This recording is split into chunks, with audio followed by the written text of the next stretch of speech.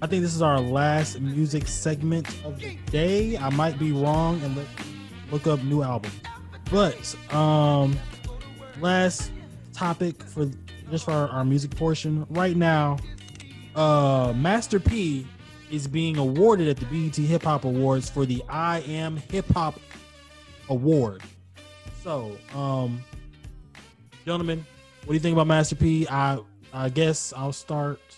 Yeah, I'll start first with uh, Master P.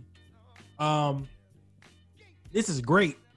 He's finally getting the recognition, the recognition that he needed. I always thought there was always three people I thought needed recogni- recognition. It was Soulja Boy, Master P, and Lil Troy. Now Lil Troy probably will never get that recognition, but hey, it is what it is.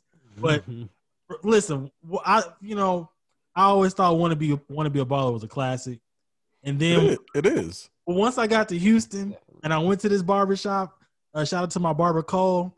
Cole, he played he played the song for me. He said, "Listen, I want you to listen to this song and tell me what he said lyrically." I said, "Okay." So the first verse, it was lyrical. The second verse, when he uh double those marble flows, naked women around me. That you know that's what he said. And I said, you know what? You're right. yeah, he didn't say anything, but hey, I always thought he needed that. But shout out to Lil Troy, shout out to Master P, shout, shout out to Soulja Boy. Uh, but seriously, this is great for Master P. This gives him the staple. Of, he is the staple of the South, or he is a leading staple of the South. I'll say that, especially for Louisiana and from Texas. If you from, you know, Louisiana and Texas in hip hop, I feel like they they honestly go together. Like they have to share, they They have. share that, and because it's different, like Hmm. Louisiana and Mississippi. You don't hear a lot of Mississippi rappers. Yeah. The, the, hardly any. the main ones I can name, of course, Soulja Boy, Swae Lee, uh, Slim Jxmmi, Big K.R.I.T., Big K.R.I.T., and um, David Banner. that's and David Banner. But David Banner blew up when he was in Louisiana. I thought No, he was in Mississippi. it was Mississippi. Okay, Yeah, so I can't name that. because because David Banner was in uh in Crooked Lettaz with a Kamikaze back in the late '90s before he went solo. You see, folks, you see why I have my encyclopedia with me. Handy Yeah, man. I Listen, did not even know that. bro. hand, handy no man right there, man. Listen, yeah, yeah. They had they had a song called uh oh crap, Pimp C produced it. It's a it's a really oh Get Crunk.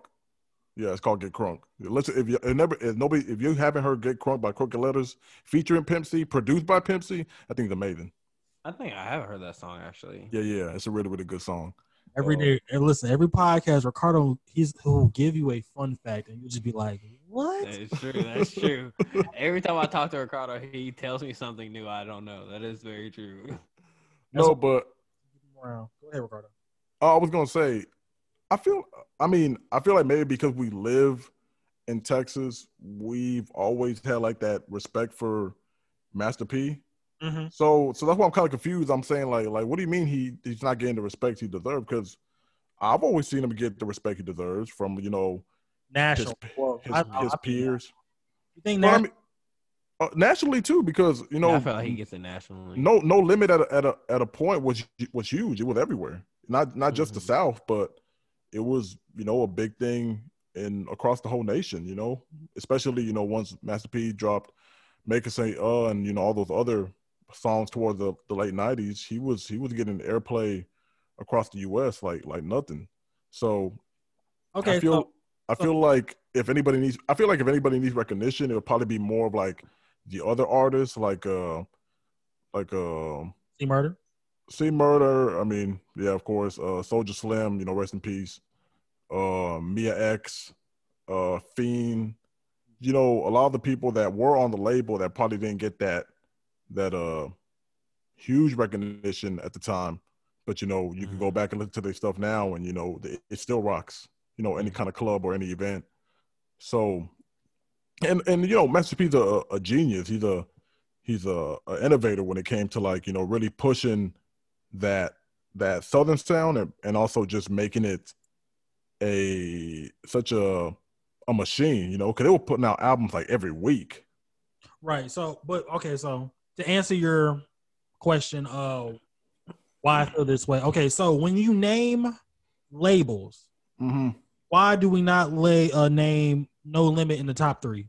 We always name Bad Boy, Most Def, and I, you know, I just Cash Money. And Cash. Okay, Cash Money. Yeah. Why, why? Why can't we name No Limit?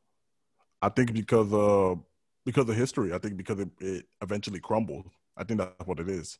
I think it wasn't able to last like some of the other ones have been able to, and because of that, it kind of tainted Master P's Legacy. Not so much him as a person, but I think the label as a whole just could not recover after all the uh, the mismanagement of money and just the oversaturation of music. All the big artists either dying or leaving the label. Uh, I mean, they had Snoop toward the very end, but by that point, you know, No Limit was kind of out, out of the door. Okay. So it never really got a chance to re- to reach that cash money, uh, aftermath, shady, Interscope type of level. No Limit or Swishahouse. If we have a battle, Oh, a battle of songs, you got to pick ten songs. No limiters, like, but they just put out ten songs.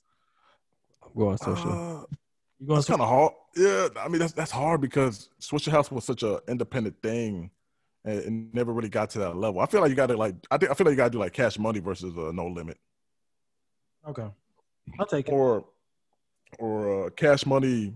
Uh, I mean not Cash Money or No Limit. Uh, Rap-A-Lot. Yeah, I like that one. Yeah. No limit rap on it. That'd Yeah. probably be a more uh, a more fair uh, comparison or like battle. Okay, uh, Jacob, did you have anything else on Master P? No, just that uh Master P gets the res- uh, respect that he deserves, I believe, because no other rapper has ever made it to the league but Master P. This is true. That's fair. That's that respect. With the Raptors and the um, Hornets. Hornets. Yep. Now, now when he did his stint in the league, Preseason. was it wasn't he? Yeah, Percy Miller. What um? Did he play in any games Yeah, pre- Preseason. Preseason game. Preseason? Okay, I can't see. I can't remember the history of like if he, He didn't- actually. He didn't make the team for the season, but he played in the preseason games for both teams. and um, the owner said he, you know, he was a great athlete uh, when they did the, you know, the final roster meetings. The owner and the general manager said, "Yo, you're a great athlete. You can really play, but just because of the music that you've put out and things that you've said in your songs and all that, uh, we can't let you be a part of this organization." I don't know which team said that, but he, that's what he said in in his documentary. I think it was Ah. Toronto. So I, it was. I think. Go ahead. Go ahead. No, I said I, I just think it's Toronto. I'm, I'm not sure, but I think. Okay. Uh, so going with that, it was always about a um, pub, you know, not pub, publicity stunt, but it was like a, hey, you're not really safe for kids, even Uh, though oh, like an image type of thing. image. Thank you. It was Mhm. image, Yeah, yeah. Yeah. It's an image deal. That, Yeah, that's yeah. where they they did them wrong. But I, got- I feel like we gotta we gotta talk about that one day about uh not so much you know Master P becoming a basketball player, but basketball players that try to become rappers. I feel like we gotta have a, like a serious conversation about that one day because you know there's so many basketball players that wanna be rappers. That's so funny because